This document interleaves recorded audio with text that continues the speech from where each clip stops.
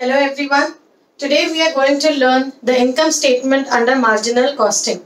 In my last video, I had shown you the various formulas that we use in marginal costing and the short form of the income statement under marginal costing. तो हमने last video में क्या सीखा हमने last video में सीखा that sale less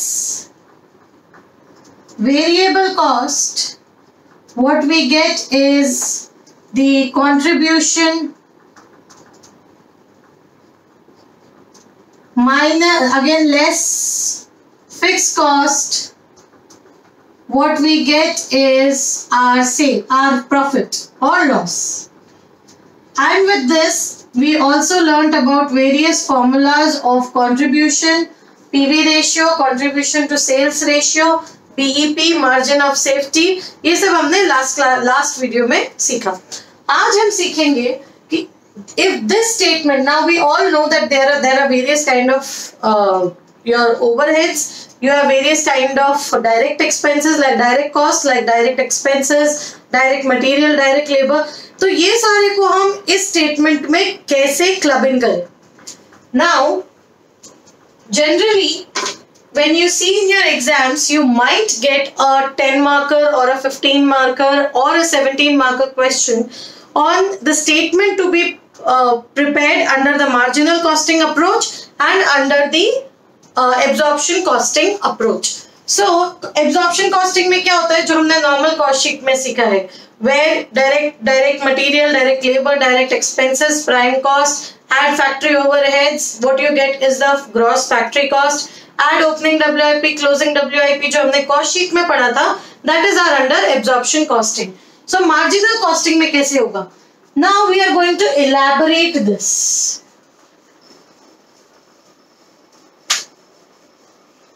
so let's prepare our statement income statement under marginal costing format is very important any question any chapter format should be there. Now, particulars and amount. What was the first thing in a smaller statement? Sales. Same thing will be here. Sales. Next क्या किया हमने?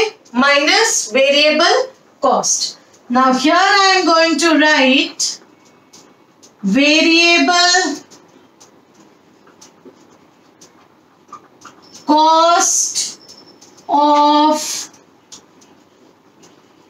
sales थोड़ा सा मैंने नाम twist किया now how do we reach at variable cost of sales you tell me direct material direct labor direct expenses these all are variable cost or fixed cost these are variable cost direct material मुझे पता है I can identify it in the material I know how much cost is incurred for each unit let us say I am making this duster तो मुझे पता है कि इसमें plastic कितना लगा है इसमें स्पॉन्ज कितना लगा है that changes with every output अगर मैं 10 यूनिट बनाऊँगी तो I will require 10 unit 10 into 10 into whatever is the requirement of one material. So it changes with the change in output. So I have direct material here. Direct labor again on the basis of output your labor will change. So direct labor. Direct, direct expense again variable. All these expenses will come here. What I get is the prime cost.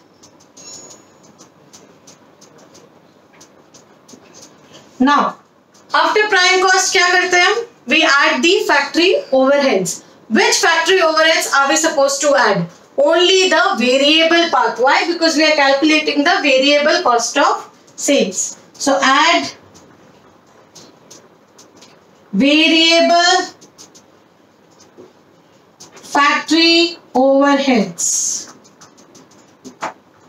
What you get is your variable gross factory cost.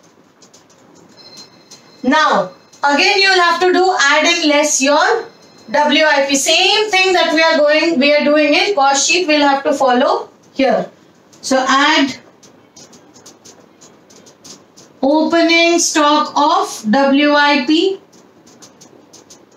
less closing stock of WIP. Now you might have a question, ma'am, when you're adding opening WIP and closing WIP, these might be the, the, these might contain a fixed part. No, this doesn't contain a fixed part. Why?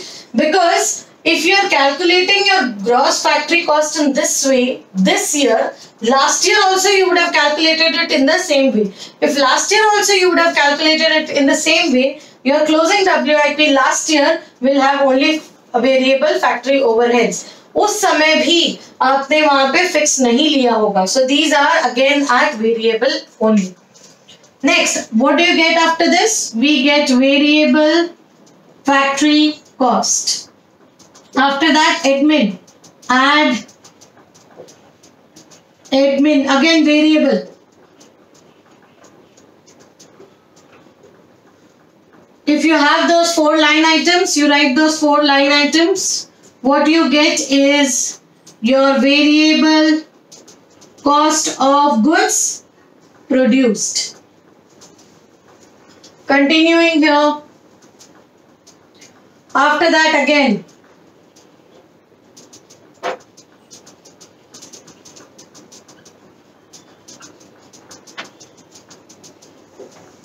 Now variable cost of goods produced. From cost of goods produced, how do we go to cost of sales? we add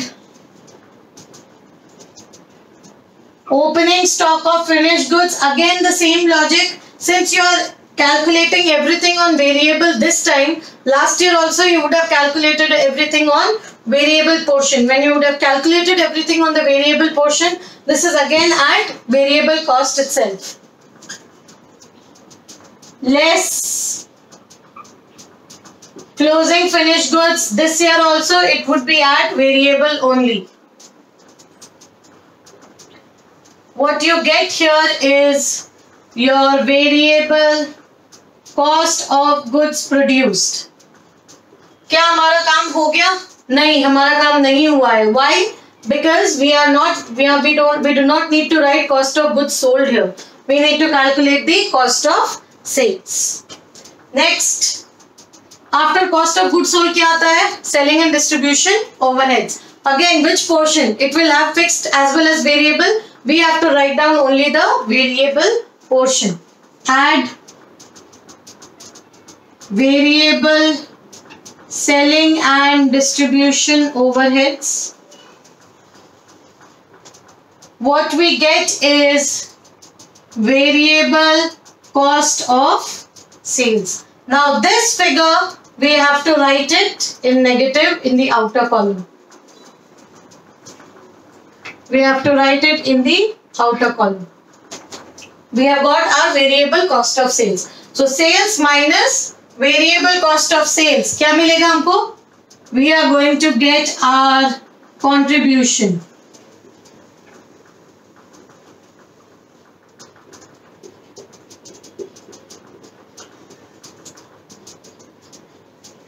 Once we get the contribution, what do we deduct from that? Our fixed cost.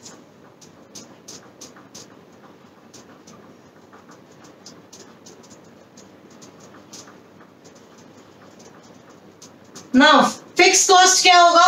See, all the direct expenses have come here in the variable cost. So, obviously, there is no fixed cost in the variable, in the uh, prime cost. We have three fixed cost again. The three fixed cost is the fixed uh, factory overheads, fixed admin overheads and fixed selling and distribution overhead. So all three I am going to add here.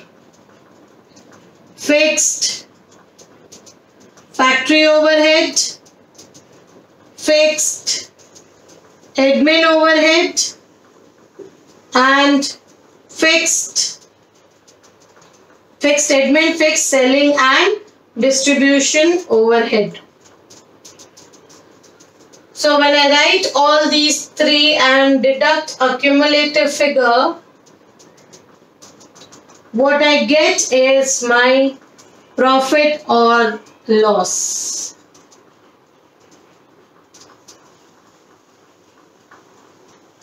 As per marginal costing. So this is how our sheet under our cost sheet and uh, income statement under marginal costing looks. Now the uh, one more question that might come here is ma'am is this profit equal to my profit under absorption costing? No this is not equal. Why it is not equal? Reason being when you are doing this I told you that your the WIPs is again at variable cost itself as well as the opening and closing finished goods. These are again at, at variable cost only. Whereas under absorption costing, what do you do? You have a cumulative figure for fixed as well as variable and you put it on each product. So because of that, this element, the closing stocks and the opening stocks, these include a portion of the fixed asset also, fixed cost also. Because of that, you hear the amounts are changing and your profit will change. So you might get a question on making cost sheets or income statements under marginal costing as well as under absorption costing and reconciliation of these two statements. Now we are in the in my next video we are going to do a question where we are going to prepare the income statement under marginal costing under absorption costing and we are going to reconcile the profit. Till then, please have a look at it, try to understand and then be prepared for the next video. Thank you.